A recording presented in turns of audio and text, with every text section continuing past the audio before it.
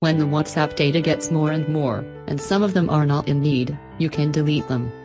This video will list 3 ways to clear chat history on WhatsApp. Part 1. Delete chat messages selectively. Tap the icon of WhatsApp to open WhatsApp on the device. Thus, if you want to delete some of them, you can select the ideal items with tapping. The information icon on the top allows you to check its details. Then, when you go back the previous page, you will see the trash bin icon next to the info icon. Click it to delete the selected items. As you can view, it is so quick that, that the contents had been gone away.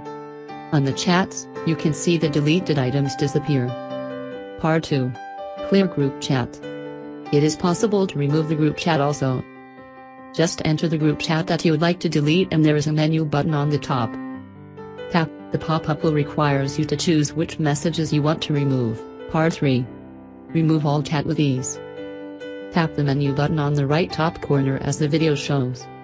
Find out settings to go on operation. Enter chat and calls screen to hit chat history from several choices on the screen. Clear all chats will delete all messages but leave the conversations in the chats list. Delete all chats will delete all conversations and all messages inside of them. You will still be in your groups and they will be visible on your chats list. Hope this video can be conducive for you.